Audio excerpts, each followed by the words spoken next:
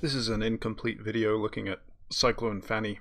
I've run out of time. Um, here we're actually flying into Cyclone Kenneth and the eye as seen by Sentinel-2 on the 25th of April.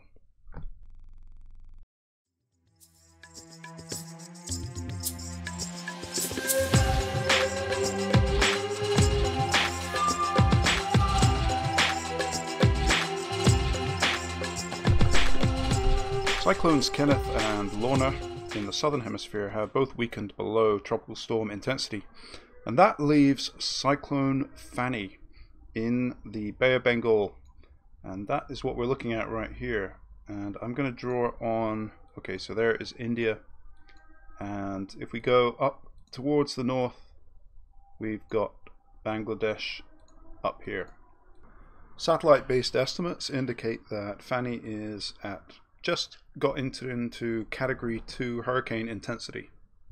The current JTWC Joint Typhoon Warning Center forecast indicates landfall at the 3rd of May at 6Z and the intensity at that time is 105 knots. That makes it a Category 3 hurricane. That's a major hurricane landfall and the state is Northern Andhra Pradesh and Orissa before the storm heads into West Bengal. And as you can see, there is Kolkata, a enormous city that is um, in the path of the weakening storm according to this forecast. It's worth noting that any change in this track would lead to a large difference in where the storm makes landfall. So you can imagine that if it were to go slightly to the right, then it would head and impact West Bengal and Bangladesh to a much greater extent or if it went to the left, it would head into land more quickly and weaken. Let's take a look at the Hurricane WRF. This is the latest initialization at 06 UTC. That is basically this afternoon, April 30th.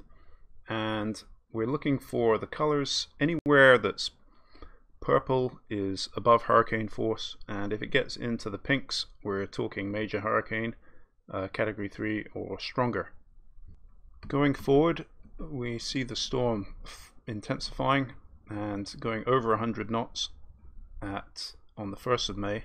And then uh, this model has it weakening a little bit and then re-strengthening prior to landfall. And the final shot oh it's actually coming in as I'm doing this because it's updated. I can't see a wind barb with two solid triangles so that is indicating slightly below 100 knots at landfall. Um, I mean, really, that looks like a, a Category 3 hurricane landfall. The coastline is shown, roughly speaking, along here. The water temperatures ahead of the storm are around a degree above degree Celsius above normal, which is indicated by the oranges in this plot.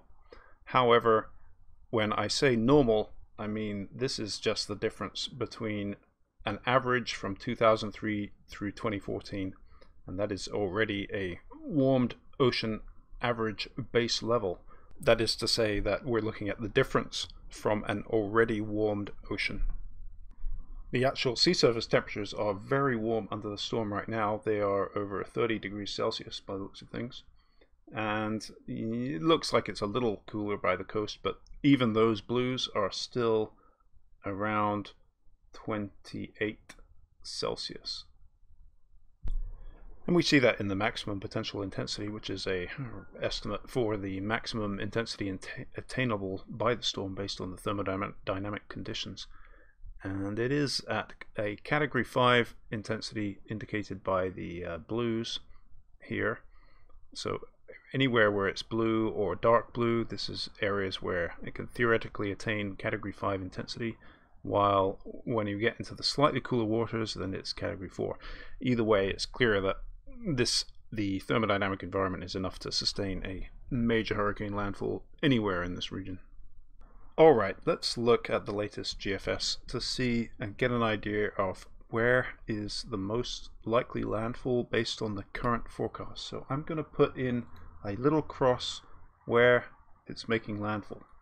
So this is the European model and it shows landfall at just very slightly to the east of the GFS. However, the GFS I think is updated more recently. Either way, they're in fairly decent agreement that it will be along this section of coast at this point. Looking at the map in more detail, we can see that the GFS landfall is there's that notch there and Visakhapatnam is sort of in this this region here. Jumping back to the JTWC track, we can see that they actually are further down the coast with their landfall, so that um, shows you just how much a small change in track of the storm could change the location of landfall by a, a long distance indeed. The worst impacts, of course, will be at where this storm makes landfall, wherever it ends up making landfall. But with the with the track going at an angle to the coast and passing in over West Bengal and possibly into Bangladesh, um, we're talking tens to hundreds of millions of people affected by this storm. So it's an extremely serious looking situation.